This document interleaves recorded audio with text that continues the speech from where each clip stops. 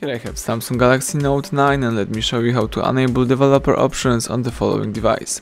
So at the very beginning let's start by using your home screen, then let's open the list of all apps, choose settings, scroll down to the bottom of the list and select about phone.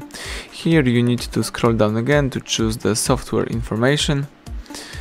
As you can see here you've got a couple of info of your device, let's tap a couple of times on build number right here and as you can see developer mode has been enabled. Now you can go back twice and here you can choose developer options. It's under about phone.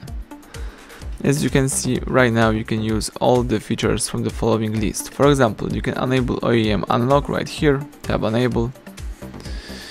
You can also but if you would like to accomplish that you need to also perform the hard reset operation so you have to be aware of this you can also enable USB debugging right here, tab OK.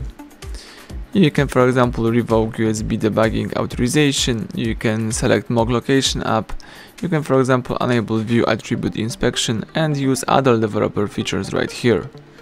So that's it. If you would like to go back, let's use back key and now you can use your device in a normal way. Thank you for watching, please subscribe our channel, leave thumbs up under the video.